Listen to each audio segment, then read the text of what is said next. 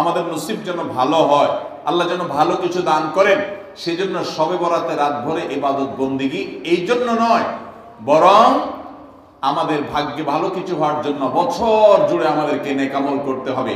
এক রাত ইবাদত বন্দি করলেন, সারা বছর কোন নফল নামাজ, ফরজ নামাজ, অন্যান্য ফরজ কাজ করলেন না, আর আপনি আশা করলেন যে আল্লাহ আপনার জন্য ভাগ্যে ভালো কিছু লিখে দিবে, এটা সঠিক নয়।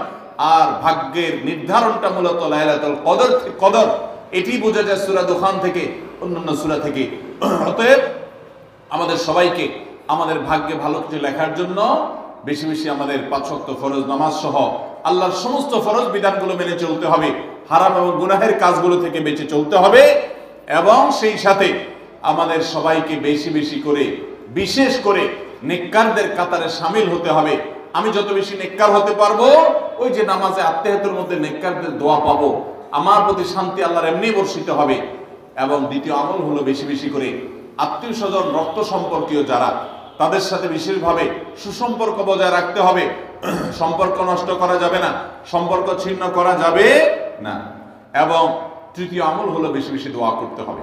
এই তিনও আমল যখন আমরা একযোগে চালাবো, একদিক থেকে সাধারণ সামনে কামল করব, বিশেষভাবে আমি আত্মীয় স্বজনের সাথে সম্পর্ক বজায় রাখার চেষ্টা করব এবং আল্লাহর কাছে দোয়ার আমলটা বেশি বেশি করব।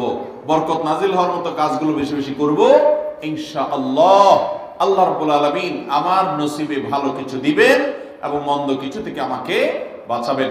নবী করিম সাল্লাহ সাল্লাম আল্লাহর কাছে দোয়া শিক্ষা দিয়েছেন। আল্লাহুম্মা ইন্নী আউযু বিকা মিন দারকিল বালা। আল্লাহুম্মা ইন্নী আউযু বিকা মিন সুইল কাদা।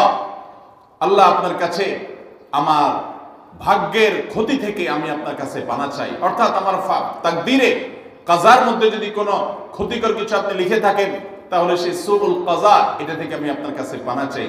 অতএব এই মর্মে আল্লাহর কাছে যত বেশি আমরা দোয়া করব, আল্লাহ রব্বুল আলমিন আমাদেরকে তত বেশি হেফাজত করবেন। আল্লাহ তালা আমাদের নসিবে দুনিয়া এবং আখেরাতে ইহকালে এবং পরকালে ভালো কিছু লেখেন। আমাদের নসিবের যেন ভালো কিছু হয়, সেই তফিক আল্লাহ আমাদেরকে দান করেন। আমরা সবাই আমলগুলো করব তো ইনশাআল্লাহ? আল্লাহ আমাকে আপনাকে আমাদের সবাই কামলের তফিক দান করুন। জেজাকুল্লাহ খেরা ওয়াখরুদ আওয়ান দাওয়ানা আনিল হামদুলিল্লাহি রাব্বিল